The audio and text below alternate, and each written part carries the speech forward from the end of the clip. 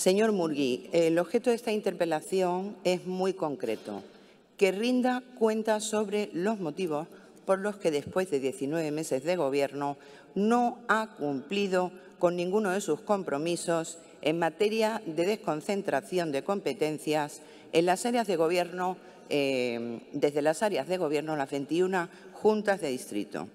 Un compromiso que ustedes adquirieron no solo en su programa electoral, sino que plantearon como una de las grandes prioridades en su acción de gobierno. Eh, fue la señora alcaldesa, que nos encuentra aquí ahora, a la que siempre hay que escuchar con atención, la que se comprometió a ello en el mes de julio pasado durante las jornadas que celebraron en esta materia.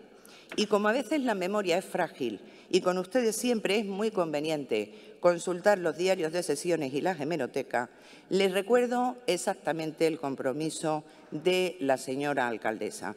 Estamos decididos, dijo, a que esta etapa comience cuanto antes para que los distritos puedan ser más eficaces. Ese fue su compromiso, comenzar cuanto antes. Pero qué razón tenía Quevedo, ¿verdad?, cuando escribió aquello de que nadie ofrece tanto como el que no va a cumplir. Y ustedes en esto, como en tantos otros compromisos, señor Murgui, han arriado sus banderas y no han hecho absolutamente nada. Señor Murgui, ni siquiera está siendo demasiado leal eh, con la oposición en este asunto, porque nos informa de lo que quiere, pero no nos informa de sus verdaderas intenciones, si es que las tiene, porque ya eh, yo comienzo a dudarlo. Y es una pena porque este tema, en este tema todos los grupos estamos de acuerdo en que hay que dotar de mayor peso a las juntas municipales de distrito y en el que podríamos haber alcanzado un amplio consenso. Pero no, señor Murgui, Usted se ha limitado a criticar a los gobiernos anteriores del Partido Popular, a hacer oposición a la oposición, a repetir bulos que, por cierto, nunca documenta, a ver si hoy tenemos más suerte y me lo puede, me lo puede documentar, y a responder con evasivas a las distintas iniciativas que le hemos presentado en la comisión correspondiente. Yo empiezo a pensar, señor Murgui, que usted tiene un problema serio con la verdad. Y hoy se lo voy a demostrar. ¿De dónde partimos? Cuando ustedes llegaron en junio de 2015, no se encontraron las juntas municipales de distrito hechas un erial, aunque pretendan hacer creer lo contrario, para tapar su pésima gestión. Ustedes no parten, no partían de cero. El proceso de desconcentración ha sido en este ayuntamiento, en la ciudad de Madrid como en Barcelona, un, proceso continuo y abierto desde que en 1963, ha oído bien, 1963 arrancara con la Ley Especial de Madrid. Han pasado muchos años desde entonces, señor Murgui, y muchos gobiernos de distinto signo político. Gobiernos todos ellos, por cierto, eh, con un grado de compromiso eh, mucho mayor que el que usted está demostrando. Ni son ustedes los primeros que en los últimos 60 años se han preocupado por la desconcentración o descentralización de competencias en las juntas municipales. Lo que sí van a hacer, desde luego, si siguen por el camino que van, es el primer gobierno que no tiene un modelo competencial para Madrid. El primer gobierno, y usted sabe bien lo que le estoy diciendo, que no sabe lo que quiere. No se trata de una cuestión cuantitativa este asunto, se trata de una cuestión cualitativa. Hay que saber elegir entre las opciones que mejor y más eficazmente garanticen la gestión a los madrileños. Hay que elegir un modelo y ustedes no tienen a estas alturas un modelo. Nosotros sí lo tenemos y se, lo hemos transmitido en varias ocasiones y en varias reuniones. Hoy ya sabemos que usted, señor Murguio, que ustedes, muchos de ustedes, han utilizado la desconcentración de competencia como un eslogan en su campaña publicitaria particular. No es por pensar mal de ustedes, pero podría parecer que la señora alcaldesa no se fía de lo que puedan hacer los concejales de distrito. Eh, señores de Ahora Madrid, permítanme que un concejal que ustedes llaman de la vieja política, ya llevo aquí algunos años, les diga a ustedes, a los de la nueva política, como se denominan, que tampoco han inventado ustedes ni la administración más cercana, ni la participación ciudadana. Siento darles esa noticia, pero fueron los gobiernos del Partido Popular los que reglamentaron estas cuestiones. Llegan ustedes, por tanto, señor Murgui, con más de 10 años de retraso. Una de las grandes diferencias entre ustedes y nosotros es que mientras ustedes quieren hacer de la participación ciudadana un fin en sí mismo, nosotros entendemos que debe tener un carácter instrumental para lograr objetivos concretos. Y es precisamente la desconcentración de competencias en favor de los distritos la que mejor garantiza esa administración más cercana y una más intensa participación ciudadana.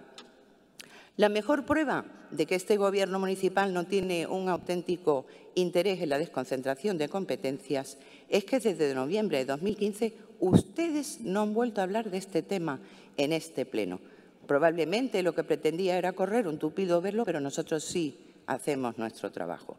En el Pleno de finales de noviembre de 2015 calificó usted, y cito textualmente, el año 2016 como un año de impulso en la descentralización y se comprometió a realizar un primer paquete de transferencias antes de 2017, obras y vías públicas, mantenimientos de parques y jardines, deportes, servicios culturales.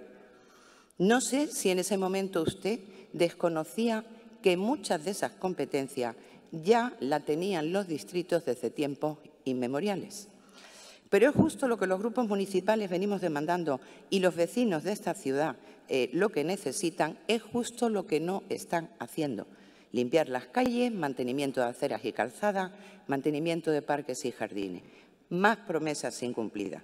La alcaldesa prometió que Madrid estaría, dijo, resplandeciente en diciembre de 2015 eh, y debería la alcaldesa, no sé si lo suele hacer a menudo y usted también, darse un paseo por la ciudad. Eso se llama eficacia. Ustedes se dedican a prometer cosas que luego no cumplen. Y lo más grave es que para cubrir el expediente, la Junta de Gobierno aprueba un acuerdo el pasado 29 de diciembre que el señor Murgui ya se lo dije en comisión. Es una auténtica tomadura de pelo. ¿Y por qué le digo esto? Porque el decreto consiste básicamente en incrementar el importe de los convenios que pueden firmar los distritos. Modifican el importe de 250.000 euros, una cantidad muy razonable, a 500.000. Ese es el cambio. Así pueden dar a lo mejor seguir dando más subvenciones nominativas, claro. Y en deporte, ¿cuál es la novedad en deporte? Que los distritos pueden aprobar, aprobar aprobar un solo verbo, un solo verbo, aprobar los programas deportivos. Porque no sé si usted conoce que la gestión deportiva es la gestión de, de, los polideportivos y la promoción del deporte es una competencia que los distritos tienen también en esta ciudad desde tiempos inmemoriales. Una tomadura de pelo, señor Murgui. ¿A quién pretende usted engañar de verdad con esto? En fin, eso sí, mientras ustedes incumplen sus compromisos, que se comprometen ustedes solos, los distritos no gestionan ninguna competencia nueva, pero crean ustedes 21 plazas de asesores eventuales. ¿eh? Porque con nuestros gobiernos, dos asesores por junta municipal era un auténtico despropósito propio de la casta. Con ustedes es muy poco dos asesores. ¿Para qué hablar del incremento exponencial en gastos de publicidad en los distritos en detrimento de actuaciones en vía y obras públicas, que también los incrementa la señora eh, Maestre? Eh, ¿Para qué hablar de los miles de contratos con cantidades millonarias en materia de dinamización vecinal, que es seguir contratando asesores a dedo por la puerta eh, de servicio? En fin, no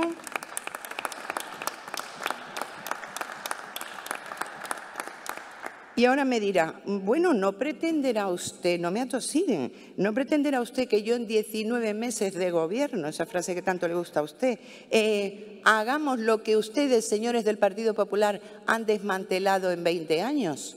Un bulo que usted utiliza siempre, no tiene otro argumento. Documentemelo, por favor, porque yo sí tengo documentados los datos que le voy a dar a continuación. Mire, dos iniciativas de calado en todo este tiempo en un pleno es atosigarle, es meterle prisa, señor Murgui. Nosotros cumplimos con nuestra obligación. Bien, los compromisos, como le decía antes, que usted adquirió aquí, en este pleno, para 2016, los ha adquirido usted solito. Usted se puso a la cabeza de la manifestación, que de eso sabe mucho. Pero bien, si esto es preocupante, este incumplimiento sistemático es mucho más preocupante lo que le voy a relatar a continuación. Lo que parece ya evidente es que las razones que hay detrás de su pésima gestión, siento decirle esto, pero, pero es cierto, eh, son más preocupantes y que ponen de manifiesto las luchas de poder entre ustedes, entre Ganemos y Podemos. Unas luchas en las que la señora alcaldesa, que ya veo que se ha incorporado, es incapaz de poner orden, es incapaz de poner orden y que están impidiendo avanzar en cuestiones que importan a los vecinos de Madrid y que son prioritarias. Unas luchas que ahondan en la ineficacia de la gestión municipal, asignatura en la que ustedes tienen un gran suspenso. Ejemplos no nos faltan. Paralización del taller de precisión de artillería, se divide el voto entre ustedes. Desalojo del patio Maravillas, el indulto de Bódalo. Y así podíamos continuar eh, eh, toda la tarde. En fin, un proceso totalmente empantanado. Adecuen el personal, adecuen el presupuesto, eh, como nosotros hicimos, gobiernos anteriores del Partido Popular, y entonces usted y yo, señor Murgui, podremos empezar a hablar de igual a igual. Habrán hecho algo. Gracias.